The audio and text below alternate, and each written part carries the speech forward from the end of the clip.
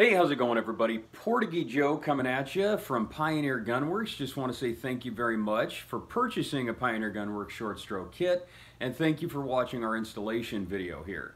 What you're about to see is the necessary steps and stages for proper installation of a Pioneer Gunworks short stroke kit into your lever action 66 or 73 rifle.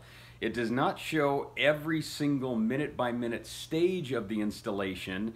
That would have made it a bit long. Instead, the video leads to about 17 minutes and does show the most proper installation, in my professional opinion, of how to get the biggest bang for your buck out of your PGW short stroke kit. So I'm going to basically point out the necessary tools and arrangements that you're going to need to get to where you want to be. And of course, there more than likely will be a lot of questions from a lot of you that have just never gone through this type of process before. In that event, feel free, contact us um, through our contact page, either give us an email or give us a phone call on typical business hours, 9 to 5 West Coast time. If we are not available to pick up the phone, definitely drop us a message or an email. Somebody will get back to you as soon as possible. At any rate, once again, thank you very much for taking the time to watch this video. We appreciate your patronage. Have a great day. Hey, how's it going everybody? This is Joe Alves, aka Portuguese Joe from Pioneer Gunworks, here today with an installation video of our Pioneer Gunworks short stroke kit. Simple video, simple to understand. We tout that you do not need to be a gunsmith in order to install this kit, and I'm about to prove it to you, showing you some of the simple procedures and stages in which to get down the timing correctly to ensure proper running rifle with a nice short lever throw. The stages are going to include the majority of what you need to know in order to get through the timing of the kit, without the 100% run through because to be honest it gets a little bit tedious over time and you just don't need to see the majority of every single run of material removal till we get to where we need. So what I'm going to be showing you is basics of the installation and material removal with our standard short stroke kit, brand new one, never used, and a used one that's already been timed for my personal 1866 Yellow Boy as you can see here. The rest of this stuff are just the basic tools that you're going to need in order to install the PGW short stroke kit. A Dremel tool, pretty invaluable in the event that you do not have a milling machine. Good, solid, sturdy hand files, pretty much all you need. Obviously one with a better grip than I have here. This one's well used and well worn. Um, you're going to want one with just straight one-sided uh, striations not the cross striations. I believe they call those bastard files, but this is just a standard hand file that you're going to need. Um, you can either go back and forth kind of like a saw, or you can, uh, you know, just push one end with pressure, lift it, push, do your thing. I'll show you a little bit more as time passes by. Then you've got some other pieces that you can use here. This is a diamond filament cutting tool for the Dremel tool. You can use that. Once again, well worn, well used. And this is just a standard sanding drum little drum here. Um, I think mine is about a 60 grit. You can get, you know, a little bit lighter. I would probably advise uh, 80, anything over 60, I don't advise just a little bit too heavy. Um, or I guess you could use 80. The, the, the rule of thumb here is that you definitely want to use your patience when the material removal portion comes along. Obviously, you're going to want your rifle. Uh, this touches base on some important issues here. When it comes to installing a Pioneer Gunworks short stroke kit, there are only two rifles that our short stroke kit will properly install into, and that is the 1866 Uberti Winchester replica, the yellow boys you can see here, or the 1873 Winchester replica from Uberti. But they have to be the modernized versions in order to ensure proper installation and usage. Now, what do I mean by modernized version? Well, if you look below, on either an 1866 or an 1873 rifle, you'll see on the bottom of the lower tang assembly will be a serial number with a small W in front of the number. If your rifle has that W, never fear, the coast is clear. If it does not have a W, you have what's considered an older rifle or an old rifle, a non-modernized rifle. The modernized rifles, the modernized Uberti Winchester replica rifles, are the rifles that we uh, basically modeled all of our uh, modified parts after for proper fitting.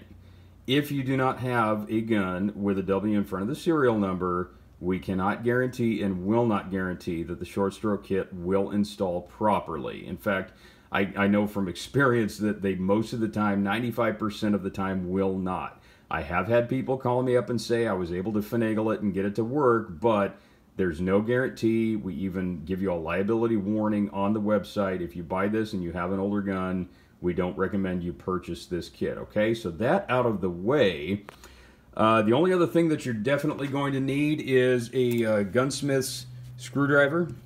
Um, doesn't have to be a gunsmith screwdriver, but that's what I use with some interchanging heads. One last thing that I'm definitely going to stress, get yourself a proper caliber dummy round. Since my gun is a 38 special, I'm using 38 um, Starline brass. You got yourself a spent primer. Um, and of course, no incendiary powder on, on the inside of the uh, of the bullet. You would definitely want to make sure that uh, even if you have a spent primer, do not have um, any powder in that uh, that round. This is going to be imperative for having later on towards the end of the um, uh, the timing of the kit and as we go along to properly time it. Because without this, we're definitely not going to know if it's timed properly for the second stage of the timing. So um, the only other tool that I can definitely recommend is a bench vise. Boom, right there. Bench vise is invaluable, especially if you do not have a milling machine. Step one is going to be the actual trimming of the material from the bottom end of the lifter arm. Now, what do I mean by the bottom end? The bottom end is this little portion right here. When you look in the bottom of your gun, as you can see, the lever has a flat portion right here that presses up against this portion of the lifter arm in order to engage the lifter arm, as you can see. That's the portion that we're going to want to remove material from, right there. So, two ways of doing this. You can either, well, three ways actually. You can either use the Dremel tool, you can use the hand file, or you can use the milling machine. For today's purpose, we're going to use the milling machine. Okay, so what you can see that I have done here is taken our lifter arm, flipped it upside down, and put it into the vise of my milling machine. Have an end mill that's about a half an inch in diameter. Um, you can use one wider, you can use one smaller, but you want one that at least fits the width of the portion that you're cutting. What I did was I touched base with the portion that I'm cutting, interfaced it, zeroed it out, as you can see there, pulled it back past the cutting portion of the lifter arm. Then what I'm going to do is bring it down to 10 thousandths of an inch at a time. Reason I'm suggesting you start with 10 thousandths of an inch at a time is it is a pretty reasonable amount of material removal.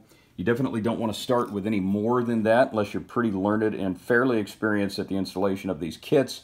And obviously if you're using a milling machine, it's a quick amount of material removal at a time. So you definitely want to instill a little bit of patience on the, at this point. Okay, so once you've got that set, little cutting fluid here, start up your milling machine. So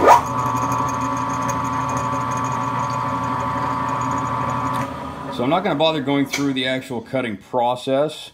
It's pretty self-explanatory at this point. You want to take off 10 thousandths of an inch at a time worth of material go back and then try to affix it for proper installation. So we'll go back and forth basically, and I'll kind of give you a little bit of a better explanation of what to do at that point. So from this point on, uh, like I said, we've taken our first 10 thousand of an inch off of the portion, the under portion here of the lifter arm. Um, for those of you that do not have the milling machine, like I said, you can make this still just as simple. Simply stick this in your bench vise right here. Okay, this is the point where the patience comes in. If a bench vise and a hand file are literally all that you have, this is going to take a little bit of time for you. And I'm just going to let everybody know at this point, this will take a little bit of time. But we have had numerous customers tell us that, yes, they were able to properly install it perfectly without overtiming the kit. Now, that leads to one very important issue that I will be discussing with you in just a little bit here. One thing I want to say is that if you are going to be using a bench vise with a hand file, you definitely want to try and keep things on a horizontal plane, perfect 180 degrees, okay? Nothing too much this way, nothing too much that way. The, the importance of keeping this angle true with a flat horizon is pretty important. You don't want it to skew downward like this in the case that somebody's just using one hand or they're a little bit heavy-handed or they start getting kind of tired after a while. That's the importance of using something like a Dremel tool. You can put a little drum in there like this one and just kind of buzz it back and forth like that, whatever way works best for you. So if you end up overtiming the kit, not the end of the world. It just means that you've taken too much material from the underside of the, of the lifter arm right here, which basically just means that the carrier is not going to rise to its top position in order for the bolt to push the bullet into the chamber. Again, not the end of the world. The, um, uh, the lifter arms can actually be repaired, a little TIG weld right here, or if it's in the terms of just something that's been whittled away to nub, of course, you can always buy a brand new lifter arm from us, but in most times, these can be repaired if over time. If you want to keep the stock carrier that comes with your gun, you are going to have to modify the stock brass carrier. And there is a video on the website that shows you how to do that, so I'm not going to get into that right now. What I'm going to do right now, though, is briefly just show you the uh, proper install installation here. After you've taken off the material, install the carrier, install the arm,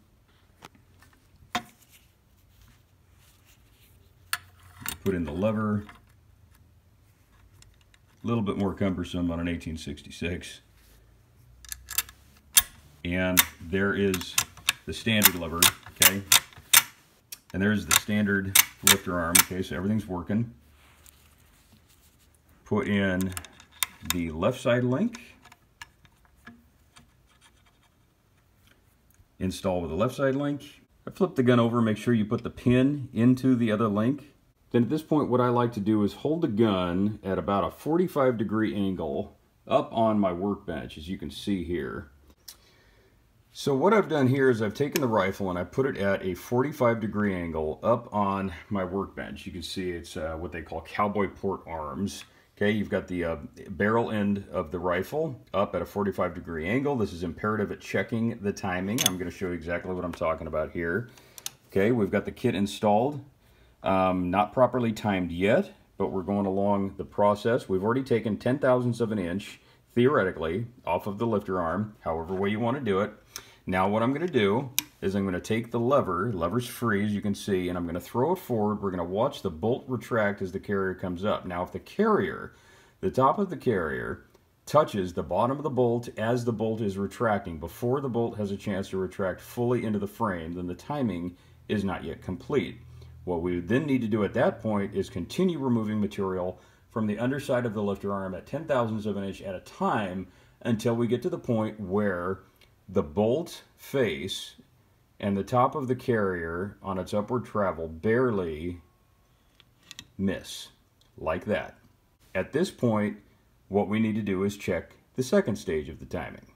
This is the portion where that dummy round comes into play. What I've done is I put the dummy round, as you can see, boom, let me expose it just a little bit, into the carrier. I've just seated it in there, and then what I've done is I've actually taken the gun and kind of cockeyed it just a little bit at an angle in order to ensure that being at an 1866, it does not have as much retaining space especially with the side plate off, in order to keep it in the carrier. So that's why you want to put it up at cowboy port arms there at a 45 degree angle. Ensure that the round is at the lowest point in the back of the carrier. Now, as I'm throwing the lever forward, you can see the bolt is retracting. The carrier is going to come up. That little tab on the bottom face of the bolt right in there, we want to make sure that the bottom of that misses the back end of the dummy round as the carrier is coming up. It just barely hits it by about, oh, I'd say a good five, in between five to ten thousandths of an inch. Okay, so everything was going good with the lifter arm, other than when that little tab on the bottom face of the bolt right there interfaced with the back of the round. Right here.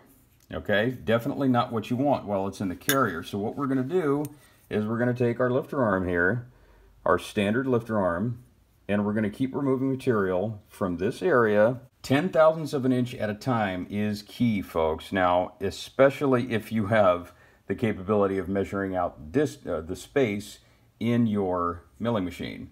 If you do not, hand file, Dremel tool. Pretty much the way to go, folks.